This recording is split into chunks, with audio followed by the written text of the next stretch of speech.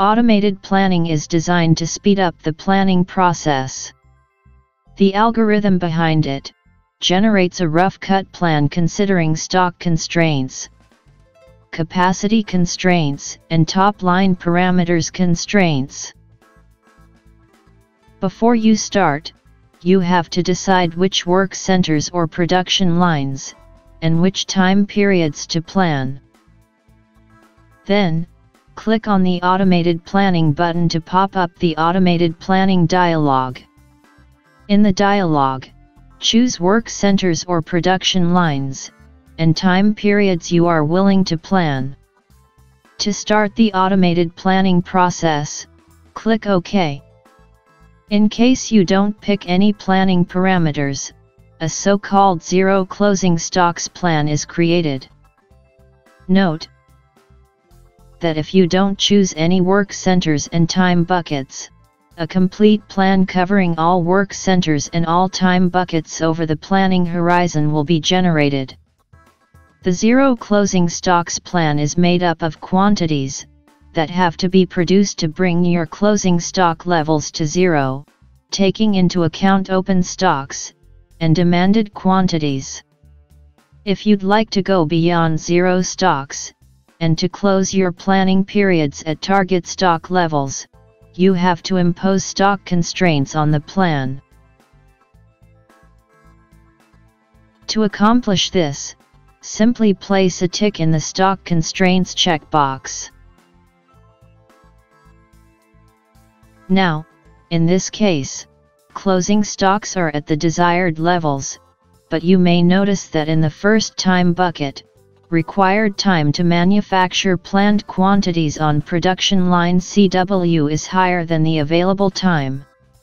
To make your plan comply with this limit, place a tick in the Capacity Constraints checkbox.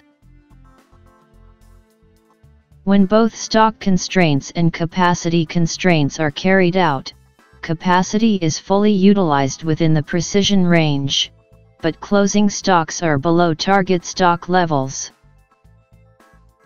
It can also be seen that, in this example, top line parameters values are above top line parameters constraints. If you'd like automated planning to take into account top-line parameters constraints while building the plan, tick the top-line constraints checkbox. After applying all the limiting options, your top-line parameters values are supposed to be below your top-line parameters constraints.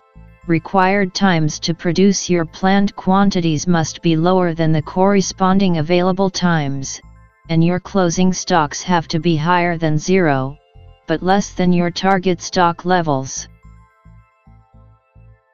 There are three more planning parameters to be mentioned.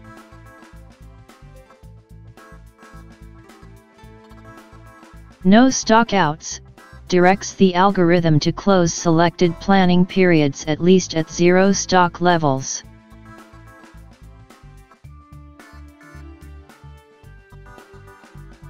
Multiplicity forces automated planning to calculate planned quantities as multiples of minimum lot sizes.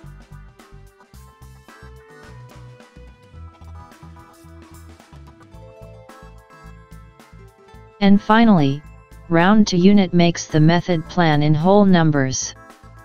If this is not your preference, remove the tick from the checkbox.